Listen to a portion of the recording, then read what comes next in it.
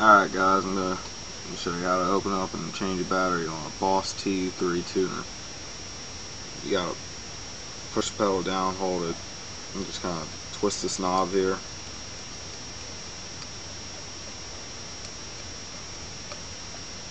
It just opens up where you need a 9 volt battery. and close it, you just hold it back down and screw it the opposite way.